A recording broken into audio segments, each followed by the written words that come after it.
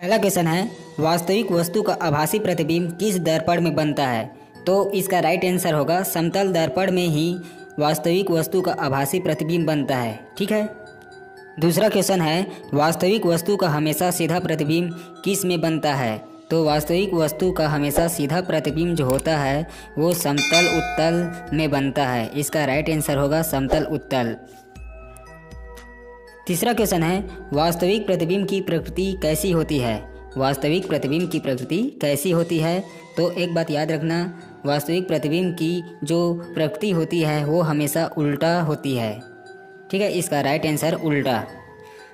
चौथा क्वेश्चन है, वस्तु से छोटा प्रतिबिंब किस दर्पण में बनता है? इसमें चार ऑप्शन दिया है, उत्तल दर्पण, अवतल दर्पण, समतल दर्पण। और चौथा ऑप्शन है उत्तल दर्पण और अवतल दर्पण। तो इसका राइट आंसर है डी उत्तल दर्पण और अवतल दर्पण में वस्तु से छोटा प्रतिबिंब बनता है। पांचवा क्वेश्चन है, प्रकाश के प्रवर्तन के नियम के अनुसार। तो जानते ही हैं, प्रकाश का प्रवर्तन कहता है कि आपतन कोण प्रवर्तन कोण के बराबर होना चाहिए। तो इसमें से राइट आंसर होगा बी आपतन कोण जो होता है, प्रवर्तन कोण के हमेशा बराबर होता है, यही प्रकाश का नियम है। ठीक है, इसका राइट आंसर बी है। छठा क्वेश्चन है समतल दर्पण द्वारा बना प्रतिबिंब खाली स्थान होता है। तो समतल दर्पण द्वारा बना प्रतिबिंब हमेशा सीधा और आभासी होता है। इसका राइट आंसर है सीधा और आभासी। सातवां क्वेश्चन है। आँख में प्रवेश करने वाले प्रकाश की मात्रा को नियंत्रित कौन करता है? तो आँख में प्रवेश करने वाले प्रकाश को नियंत्रित करने वाला है परितारिका। परितारिका को आयरिस भी बोला जाता है, जो कि आँख में जो प्रवेश करने वाला जो प्रकाश जो होता है, उसको नियंत्रित करता है। इसका राइट आंसर है ए, परितारिका। आठवां क्वेश्चन है सूर्योदय और सूर्यास्त के समय सूर्य कैसा दिखता है? तो देखो सूर्योदय के समय या फिर सूर्यास्त के समय। सूर्य हमेशा चपटा दिखाई देता है। इसका राइट आंसर है डी चपटा। नवा क्वेश्चन है, यदि दर्पण में बना प्रतिबिंब हमेशा सीधा आकार में वस्तु के बराबर तो वह कौन सा दर्पण होगा? तो यदि दर्पण में बना प्रतिबिंब हमेशा सीधा होता है, आकार में वस्तु के बराबर होता है तो वह दर्पण हमेशा समतल दर्पण होता है। अर्थात इसका राइट आंसर समतल दर्पण है, इसका आंसर है सी समतल दर्पण। दसवा क्वेश्चन समतल दर्पण के द्वारा बना प्रतिबिंब होता है तो समतल दर्पण के द्वारा जो भी प्रतिबिंब बनता है, वह काल्पनिक होता है। इसका राइट आंसर भी काल्पनिक होता है, समतल दर्पण के द्वारा बना प्रतिबिंब काल्पनिक होता है। ग्यारह क्वेश्चन है। निम्न में से कौन सा पदार्थ लेंस के लिए प्रयुक्त नहीं किया जा सकता? तो लेंस के लिए प्रयुक्त नहीं किया जा सकता, वह पदार्थ है मिट्टी। बाकी अन्य पदार्थों को लेंस में प्रयुक्त कर सकते हैं। इसमें मिट्टी को ही लेंस में प्रयुक्त नहीं किया जा सकता, इसका राइट आंसर है मिट्टी। बारह क्वेश्चन, उत्तल लेंस की क्षमता होती है। तो उत्तल लेंस की क्षमता हमेशा धनात्मक होती है। उत्तल लेंस की क्षमता धनात्मक होती है, इसका राइट आंसर धनात्मक होगा। फिर तेरवा क्वेश्चन लेंस की क्षमता का ए सही मात्रक होता है।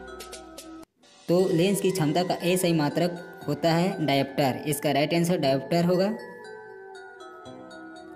चौदह क्वेश्चन है, पानी से भरी बाल्टी की गहराई कम दिखती है। इसका क्या कारण है? तो पानी से भरी बाल्टी की जो गहराई जो होती है, वो कम दिखती है। इसका मेन कारण है अपवर्तन। अपवर्तन के कारण ही पानी से भरी बाल्टी की गहराई कम दिखाई देती है। ठीक है?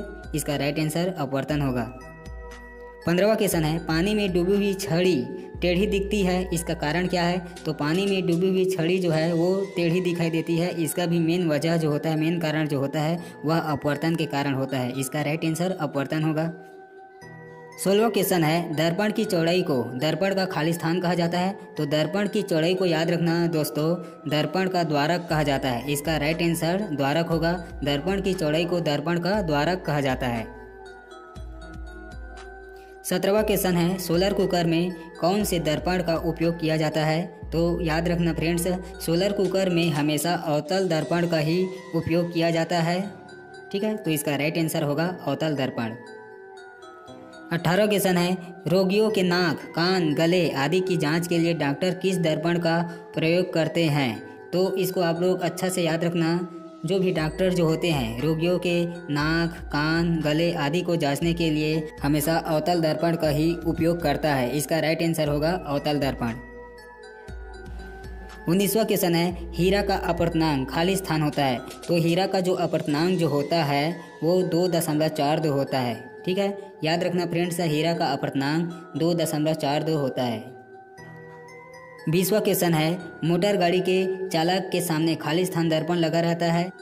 मोटर गाड़ी के सामने में जो दर्पण लगा रहता है, वह उत्तल दर्पण होता है। ठीक है? मोटर गाड़ी के चालक के सामने जो दर्पण लगा रहता है, वह उत्तल दर्पण होता है। तो इसका राइट आंसर होगा उत्तल।